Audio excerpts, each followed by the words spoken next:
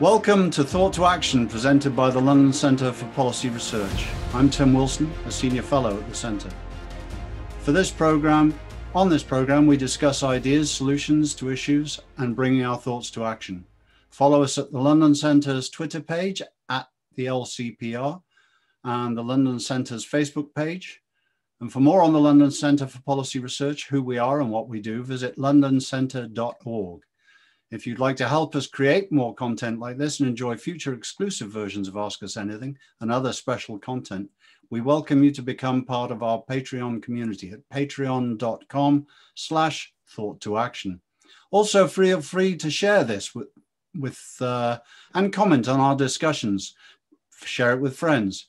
We appreciate you helping us spread the word about our program and conversations. Today on Thought to Action, we have Andrew Pollack, who is president of the Crime Prevention Research Center and um, author of a great book, Why Meadow Died, and a real leader and extremely well informed on um, gun rights and gun issues and gun control. Welcome, Andrew. Oh, thanks for having me today. It's my pleasure to be with you.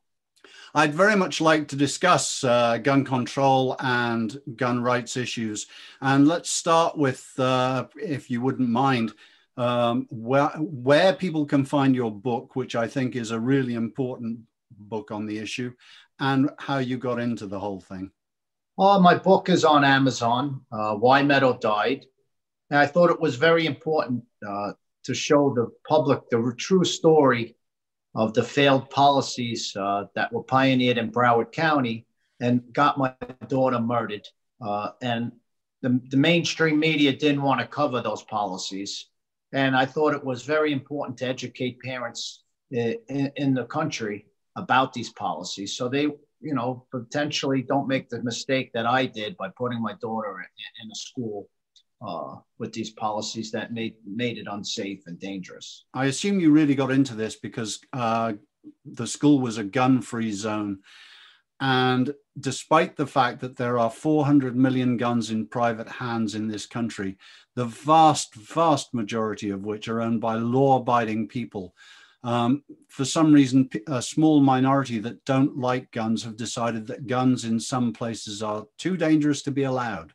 Sure. Well, how I got it, I was never involved with politics or gun rights uh, before my daughter was murdered. Uh, I always had a, a gun permit. Uh, even when I lived in New York, I had a, a target uh, permit that allowed me to go back and forth to the range, and I carried as much as I can, uh, was able legally.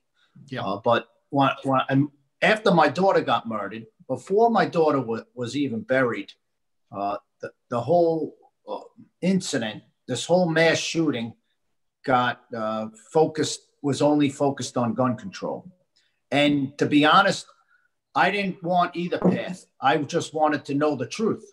Yeah. I didn't go down that path of gun control, but I'm not, if it was gun control, I'd be here talking to you, might not have me on, but I'd be talking to you how I thought it was, uh, we needed more gun laws. Sure. So I took a step back and I analyzed everything. I actually, it was so much to take in. I wrote a book uh, about it to educate parents. Uh, and like I said, before she was mur- before she was buried, the the mainstream media, a lot of the Parkland parents, all those kids that became famous off of my daughter being murdered, uh, all focused on gun control without looking into these policies that enabled this murderer to be able to purchase a rifle.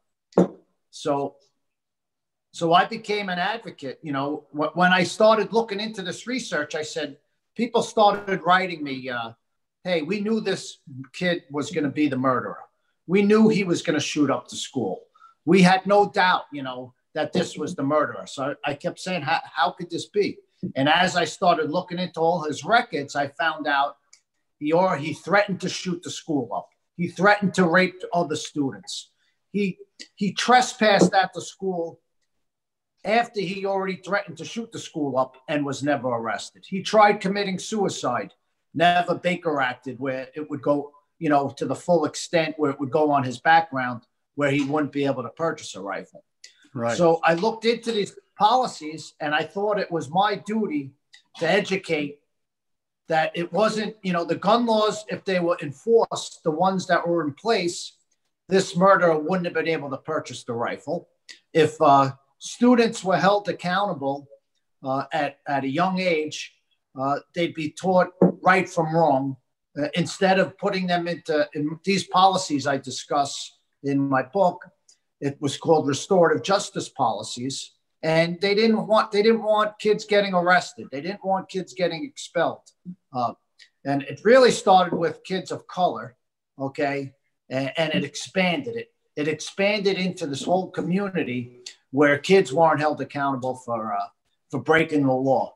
Uh, when my daughter was in school, if you could believe it, uh, students were allowed four misdemeanors per school year without ever getting introduced to law enforcement. So they could assault the teacher, assault another student, sell drugs, steal an iPhone, and be put in a healing circle. So, you know, those are just things that got me so involved in what happened. And I'm passionate about it. And it brought me into contact with the prior president and founder, John Lott, because I wanted to know facts about gun laws. I wanted to educate people about the safety of, of being able to conceal carry. So that's what led me to, uh, to the Crime Prevention Research Center and to be an advocate for the Second Amendment. Let me just say now that that's also what led me to the Crime Pre- Prevention Research Center, uh, which um, please give the web address of before we go. Um, but basically, it is a source of solid data and facts, openly discussed, and it's the it's the one place I know of where every aspect of solid data, where it comes from, what what is good about it, what is bad about it, and every other aspect of anything to do with crime prevention is openly discussed by people that really understand it and that's why I'm delighted to have you on the show. Oh, thank you so much. And another thing that you know, after this happened with my daughter, there's uh, Florida was mostly Republican run, and I think uh, they came up with solutions. Uh, Governor Scott at the time formed the Marjory Stoneman Douglas Safety Commission in to look into the shooting to come up with solutions. They didn't just push an agenda, you know, where Democrats, uh, when coming to Parkland, uh, they didn't look into any failed policies. They just focused on the policy of gun control, which I knew it wouldn't have worked. You know, I, the only policy that would have worked is if they would have arrested this the, this garbage when he threatened to shoot the school up, when he punched his mother's teeth out in a domestic violence uh, uh, call from the sheriffs. Uh, so so what I'm getting at is through this commission, uh, they looked into all the failures that happened that day to my daughter and those other students and teachers. And they came up with, you know, the murderer reloaded inside that school five times. Yeah. Uh, he reloaded his weapon. At, and at any time in that school, someone with a, another firearm that was trained could have easily killed this, killed this animal. You know what I mean? Instead of the only people that rushed in were two unarmed coaches who got killed immediately. So, what came out of it, which is a policy I really truly believe in, is the ability to able to arm teachers who voluntarily go through a high intense training program where they're able to carry at schools. Yep. And if you look at it now with the Biden administration and Democrats, what they're pushing is to defund police remove police officers from schools. And, and I know it's it's a failed policy, you know, because I've seen it. You know, I couldn't watch the video of my daughter getting murdered, but right. friend, good friends of mine on that commission watched it, and they they voted. 14 out of the 15 commissioners voted to be able to arm teachers in schools because they saw how important it would have been and how many lives could have been saved if there was a highly trained teacher in the building. But in Broward, where my daughter was murdered, they don't allow it because it's run. They have uh, these democratic policies, and these leftists don't agree on the ability to train, highly train them to a program where they make our kids safer. But it's not in Broward. But schools, if you look on our website, a lot of the schools are much safer. We, we, we analyzed where teachers are able to carry against not carrying. Right. I, I'm fascinated by this. I mean, if you look at across the country, there's a generalization there. Um, and you mentioned how many historic gun control policies basically were aimed at preventing people of color from getting it. And that still seems to be the case. The high crime areas tend to be the places where both there is fairly strict gun control and there are a lot of um, minority people living. Well, I, I think I forget the statistic, but I don't know how many people were shot over the weekend in, in Chicago and killed. What you bring up is important because in these urban areas, this uh, Biden's policy is he's going to put some more uh, fees on owning, uh, you know, weapons and stuff yep. like that. There are also an awful lot of ex-military around the, the, the, the country, and I speak as obviously you will gather from my accent, a former British Army guy, and I also trained as a teacher in my youth. Um, and have been a strong gun advocate all along. And it, it dismays me that um, people who are already trained are refused permission, you know, trained and trusted by the country to carry weapons in defense of that country. And yet they are not allowed, if they become teachers after their military career, to carry a weapon in, in many schools. Yeah, one of the uh, coaches that actually got murdered uh, instantly was ex-military, and and you know, I think it would be highly beneficial to take, you know, we always talk about let's help our veterans. You know, that's a whole nother career that we could put our veterans through in training, you know, and they, they're highly vetted to, you know, because I know about the program. They highly vet them for mental illness yep. uh, through these programs we have in Florida to, to, to screen them. So we could really use these veterans and put them to work in these schools, places of worship, train them and put them to work. I'm sure they'd love to get out there and work protecting our children and our churches and temples. Yeah, I so totally it's definitely agree. a great. We're doing it in Florida. Uh, with this, we, we named the program after one of the coaches, Aaron Feis. He went into the building and got killed. So yeah. it's called the Aaron Feis Guardian Program, and uh, and I witnessed the training, man. It, it's pretty intense. So anyone that could pass and go through that training that we have in Florida would be an asset for any temple or church or school. So I'm a big advocate of it because I witnessed it. Yeah. And I, it's interesting, of course, there was a, um, the incident in Texas last year that made the news where the security guard who was retired policeman, retired FBI, I think, um, killed the perpetrator before he could do more damage.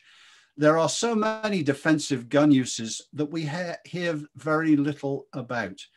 And I, in, I think part of that is because sometimes defensive gun use takes as little as just showing that you have a weapon. It is interesting, is it not? I'm sure you're aware of the uh, historical facts around school shootings. That I don't believe there's ever been one in a school where teachers are allowed to be armed. Uh, also, there's not many in private schools. Also, uh, if you look up the stats from uh, right. back you know, if you go through the stats, and, and I'll give you a reason why it's not really in private schools, but getting to that point where you don't have signs that it's a no gun zone. And now you even see signs, you bring up Texas, they have signs that teachers are highly trained and armed and will defend their students with deadly force. They're using those signs. What student's going to go or a shooter is going to go into that school? They're going to go down the street to the no gun zone sign like any other criminal. You know, signs, these signs don't stop criminals from being, uh, from committing evil acts.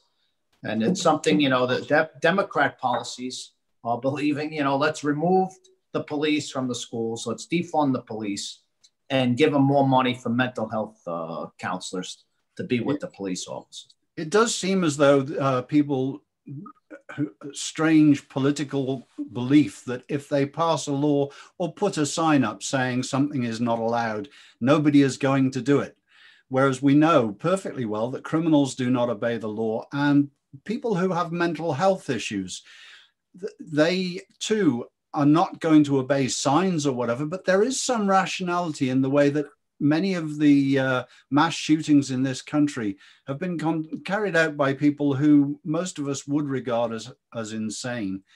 And yet they pick quite deliberately, and we know from some of their planning documents, they pick, pick places where they're not going to meet an armed response quickly. Correct. Well, they, they're cowards. We already know that. Most in most incidents, when they're confronted, they either kill themselves or give up. And it brings me, I want to go back to the point I made about the private schools and mental illness. Yeah. Uh, they don't take, uh, parents don't know this, and I learned the hard way that a lot of the public schools, they'll take kids that are emotionally disturbed and violent. They call their diagnosis is oppositional defiant disorder. Okay. And they label those children special needs. Right. I don't know if they do that in London, but here in America, they'll take these kids uh, under the Disabilities Act and then they'll make them, you know, when you think of special needs, you think of a child with cerebral palsy, uh, uh, dyslexia, just mm-hmm. something that's not violent, a learning disability, and yeah. they're labeled special needs, and we help them. But parents don't know that. They take these kids that are emotionally disturbed and violent and they label them special needs, and it makes them uh, just about untouchable within the school district. I didn't and know that. Private private schools don't take those type of children, and it's one of the reasons why you don't hear about these uh, these shootings in private schools because they don't have to take them. You know, public right. schools. This is what they do in our public schools, and parents don't know about this. They have their kids like my daughter was sitting next to this person who was skinning animals at the, you know what I mean, in their backyard. One summer, you know, we have his mental records, so I know about this stuff. Uh, one summer, a hatchet went missing in his uh, shed in the back that they had at the house. So they were so, his mental health workers were so worried they couldn't find the hatchet. But that fall, they recommended mainstreaming that thing into my daughter's school. That, that's how bad this gets with parents who you, you got to know what's going on sure. with these policies in the schools. And that's why, you know, a, a whole nother uh, episode could be choice, pro choice for parents to be able to send their children to any school they want. You shouldn't have to send your child to a failing public school. And if you look at the policies, Republicans and Democrats, Republican policy is for choice like in Florida, and then you look at the Democrats where uh, they're, they're, they're, against pro-choice for parents, and they push these uh, these teachers unions that indoctrinate the, uh, our children. Andrew, thank you very much. It's been a fascinating chat. I hope you'll come back and do more. Um, you can find Andrew's work, as I say, at the present at the moment. He's the president of the Crime Prevention Research Center, crimeresearch.org, and his book is available on Amazon. Again, why Meadow died. And I urge you to, parents, if you're going to put your children in a public school, to read my book, to educate yourself, uh, not to make them the mis- bad, terrible mistake I made by putting my daughter in a public school. Andrew Pollack, thank you very much indeed for being us, uh, with us on Thought to Action. I'm Tim Wilson.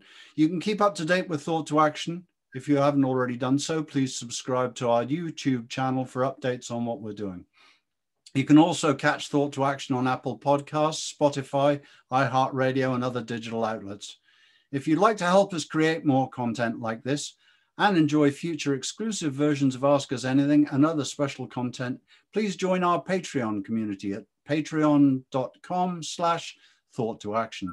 Also, it really would help if you shared our video or audio podcast with your friends and colleagues.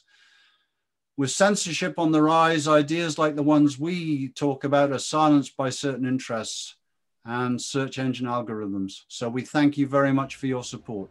Please visit our website at londoncentre.org for more information on the London Centre for Policy Research. And again, thank you for watching and listening to Thought to Action.